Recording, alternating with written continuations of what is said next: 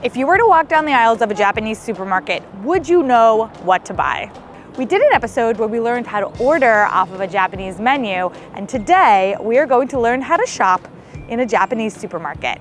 The market is located here in Edgewater, New Jersey, just across the river from New York City, and the shops surrounding it are lovingly known as Little Japan. Little Japan. My friend Remi has agreed to help guide me through the aisles of Mitsuwa Market in Edgewater, New Jersey. This is one of the largest Japanese supermarkets I have ever seen, and I'm very excited. And before we get to the shopping, a big thank you to Bokksu for sponsoring today's episode. If you're watching this video and thinking, hmm, this is really great, but Beryl, I don't live near a Japanese grocery store, that's where the sponsor Bokksu comes in.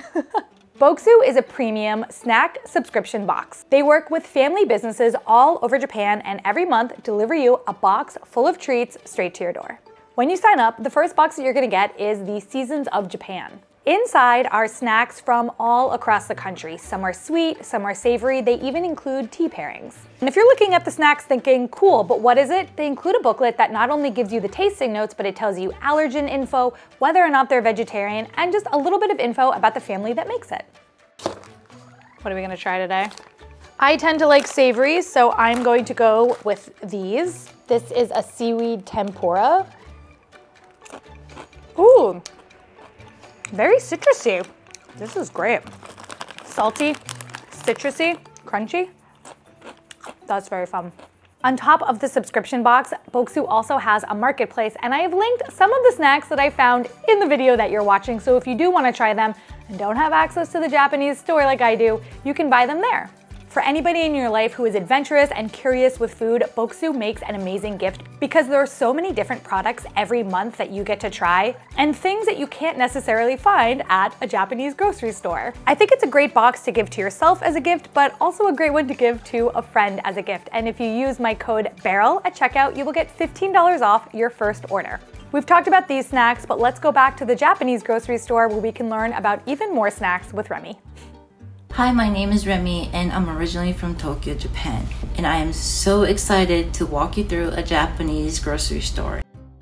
So Japan likes to do a lot of seasonal type foods. One typically, especially on the refrigerated item, is the asazuke. Asazuke is a pickled Japanese vegetable. It's a mixture of daikon, carrots, eggplant, and cucumber. I'm not seeing exactly what Remi recommended, but obviously I'm seeing like a million, bajillion different pickled vegetables, which are like all my favorite types of food in the world.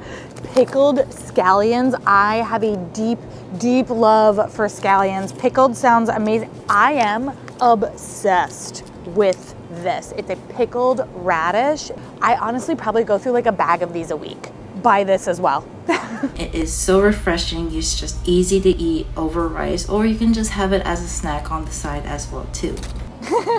Another item that is very typical is renkon slices. Now, renkon means lotus root in Japanese. So a lot of the lotus root is pre-sliced and is pre-cooked or more so pre-boiled. We typically saute it with other vegetables with soy sauce or we put it as more of a stew type with other vegetables.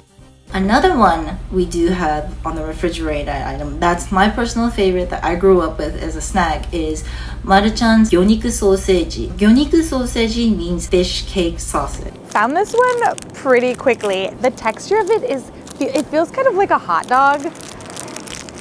I'm gonna just give it a try. When you open the packet, it's in this little orangey tube, and when you open it, it's pink. It looks like a hot dog. I like to eat it right out of the package just because it's such an easy snack for me when I was growing up. Ooh, it's like a fishy hot dog. I would probably eat it hot, but this is definitely good and it would be really good in soups or like on a sandwich. Okay, I'm sold. this is one of my favorite snacks. It's called inari and it's in essence fried tofu skin and then you stuff it with rice and then put all of these glorious toppings on it. Japan being a culture where we eat nothing but rice, typically. Remi is definitely right. There are so many huge bags of rice here. Like, this is actually one of my favorite brands of Japanese rice. if you go to the condiment aisle, now you have rows, and I mean rows of certain things that would go over rice. My favorite condiment in the world, Kewpie. This is the most superior mayonnaise of them all. I will die on that hill. So the condiment that we have is gohan desu. Now when you first open it, inside it looks like like a black paste. Now that black paste is actually seaweed. It's seaweed marinated with soy sauce and a little bit of sake and sugar. We also have ochazuke. It's a small little packet. You put it over rice and you pour hot water over it and you just eat it that way. I actually used ochazuke in the very first video I ever made when I started working with people on the channel and it was for a sick foods dish and the person just poured it over hot rice and I actually still have a packet at home. So ochazuke comes in many different flavors. My go-to is the umeboshi, which is the pickled plum. They have many, many variations of that depending on the prefecture of Japan actually. Umeboshi can be very, and I mean very sour. I've had this once before and Remi is right. It is very powerful in flavor. I think even I was like, whew, very sour.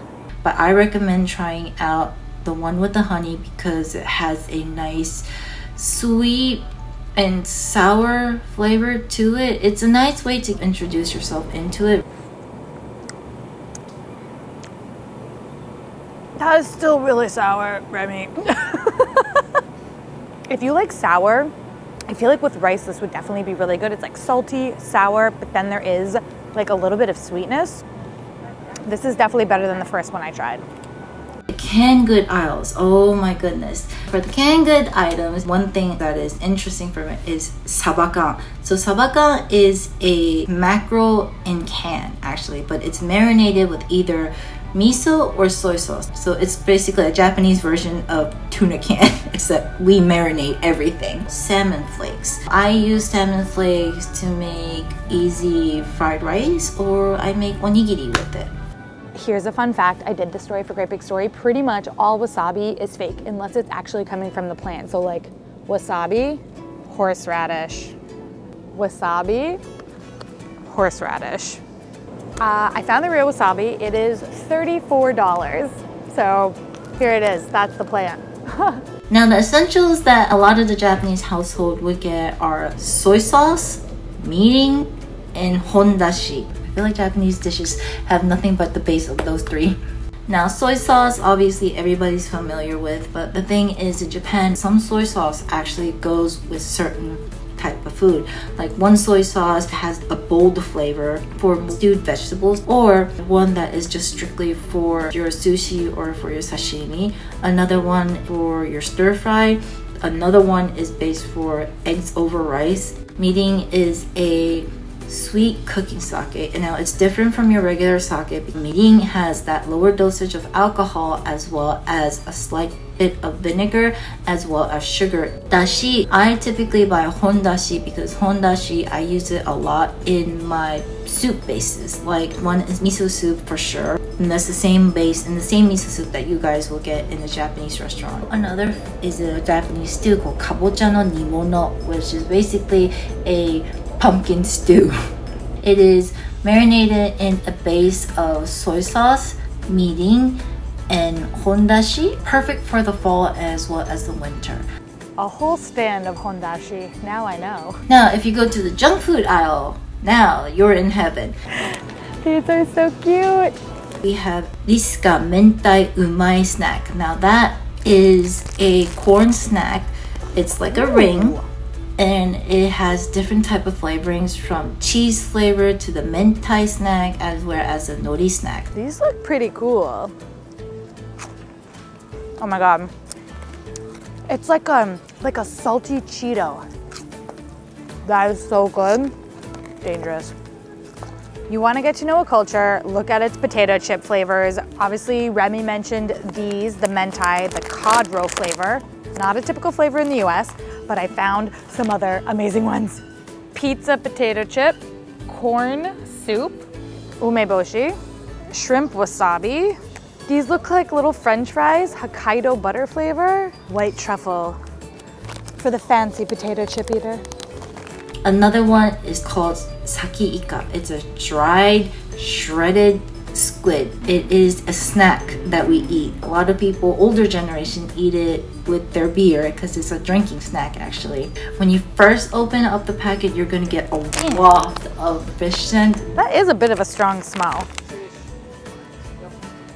Ooh, I really like the texture of this. It's not spicy though, but I definitely see how like with a beer it'd be so good because it's like chewy, salty. Yum.